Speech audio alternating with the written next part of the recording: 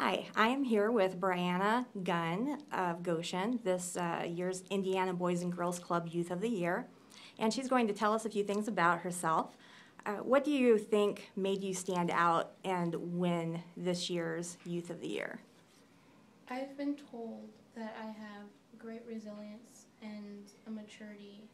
I also believe that the compassion and the passion that I have, or that they saw in my story, was because it was my story and I could not go wrong in telling it. And can you tell us a little bit about your story?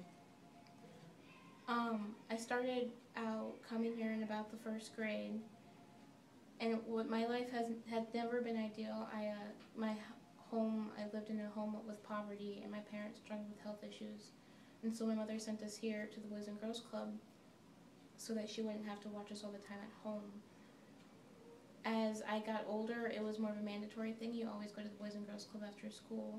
As I grew up and started make was able to have my own choice, I decided that I enjoyed coming to the club a lot more than going home because my home life was just so difficult and frustrating at times.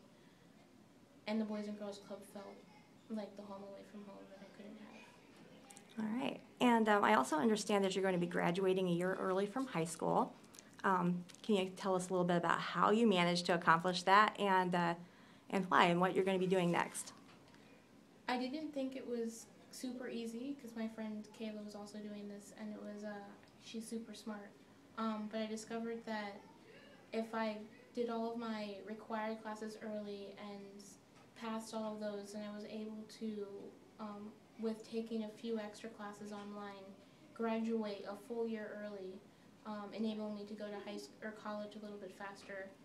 Um, where I went, would like to pursue the dream of becoming an English teacher for middle schoolers, and I also want to keep writing. I am currently writing, um, in the process of finishing up my first novel out of a three book series, and would like to continue on with my writing and growing stronger in that area as well. All right, excellent. And um, why why do you think that you stayed with the Boys and Girls Club? And do you plan to, in the future, as an adult, stay with the Boys and Girls Club?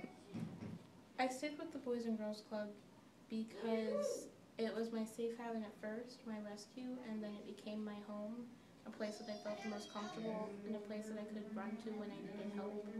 I knew that I could ask um, the staff here anything, and they would not judge me on anything that I did. I know in the future that the club will always be a part of my life, and no matter where I go, I will always try my very hardest to contribute in any way possible to a Boys and Girls Club and its entire I guess the um, what they do for children and their communities. All right, well, thank you, Brian. It was a pleasure meeting you, and I wish you the best. Thank you. You're welcome.